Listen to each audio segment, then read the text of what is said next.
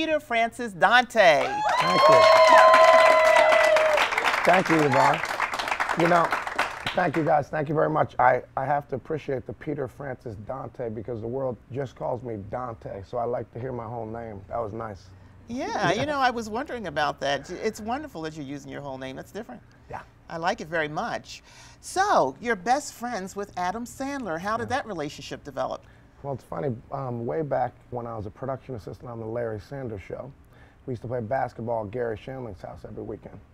And Adam showed up, and I was like, looked at him, and I was like, hmm, I think that guy's funny. And I was like, hey, man, me and my lacrosse teammates, where I played at Hofstra, I said, we used to sit in at spring break and watch you guys on VHS all day. You know, Mm. him and Chris Farley, Chris Rock.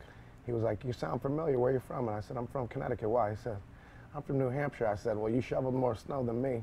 And he's like, hey, we should play one-on-one after this. And right after, we played basketball one-on-one together that day and became best friends just like anyone else becomes best friends. You know what I mean? Great. It's a very odd question you hear because Brad Pitt is also one of my other best friends, and people always be like, "Hey Dante, how'd you become best friends with Brad Pitt and Adam Sandler?" And you're like, and I, my answer back is always like, "Wait, how did you become best friends with your best friends?" you know what I mean? It's the same thing. Well, it's a great way to get all the girls and, Well, you yeah. know, Yeah. if, if that's your thing. Nah. I got one girl. But anyway, that's fabulous. How do you find time to coach? I understand you're coaching for LXM, is it? Pro, yeah. 610? LXM Pro, yeah. Wow. How do you find time to do that? Well, you know, it's very, we're fortunate that our movies um, have been very successful over the years. And um, it, it'll take a block of time to shoot something, and then you get time off. And in between movies, I'll always volunteer time for lacrosse because I love the sport. I played it, it's the fastest growing sport in America. It's a lot safer than the sport of football. Sorry, I love the sport of football as well, but due to all the you know spine injuries and stuff, I have a passion on getting kids into a safer sport so Yeah. that they don't get hurt in college and, you know something bad happens to them. And you also, you have a band. Yes, I do. I Tell us do. about I- that. Well, I have a couple of bands actually. Adam and I are in a band together called the Adam Sandler Jam Band, and we play at our holiday party and maybe a couple benefits or something, Mm-hmm. you know, over the year. Goodness, and you do concerts and everything? Not really. That, that's Okay. something that takes a lot of time, you know. Yeah, you need that- to that's- rehearse and do that's a that. commitment. Yeah. Yeah. This this LXM Pro thing. Let me get back to that. Is a group of guys who all went to Maryland together, Mm-hmm. and they also do youth lacrosse uh, out in California, and they're trying to grow the sport organically and show people what's really unique about it, you know. And we have concerts like last year. We had Wale play with us over here in uh, Radnor, and it was awesome. Mm-hmm. Do you know Max Fritz? I do know Max Rick. Uh, Yeah, he was on my show also. He's a great kid, He's a good friend of mine. lacrosse fan, and uh, matter of fact, isn't he uh, co-owners of one of the lacrosse teams? He is uh, one of the CEOs of LXM Pro with my with my friends Max Zanderitz, Scott Hochstadt, and my friend Kyle Harrison. That's the same team. all, all that- all LXM is 610. Pro. Mhm. Oh, okay, okay, because I didn't know the 610 part. Yeah. Oh, fantastic. Well, the 610 part is because we do shows all over the country. We Mm-hmm. do them in St. Augustine, Florida, Tech, Austin, Texas, wherever we want to help youth lacrosse, you know, Right. Mm. be raised, and we do clinics as well for the kids. We go, we go and do free clinics, and we go meet all the youth teams and speak to them. You know, Yeah, Max is uh, from Pennsylvania, and I went out to meet him. He they both a- they went to Radnor High School. Exactly, exactly. And and I went out to meet him, and he was doing a team out there.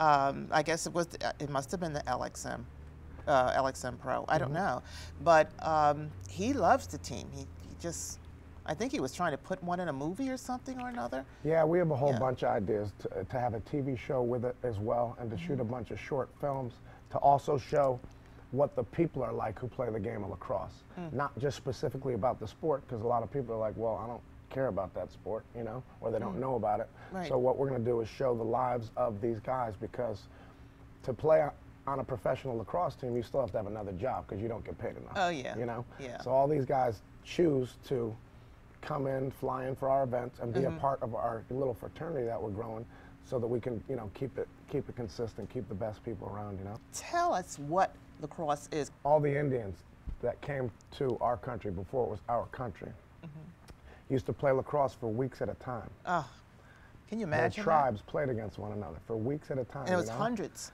Oh, so- hundreds. I'm talking about they played, you know, obviously it was a life and death sport back then Mm-hmm. because when the, the last Indian ended up with the ball on the property, his that became their reservation. So they played Yeah. lacrosse for their property.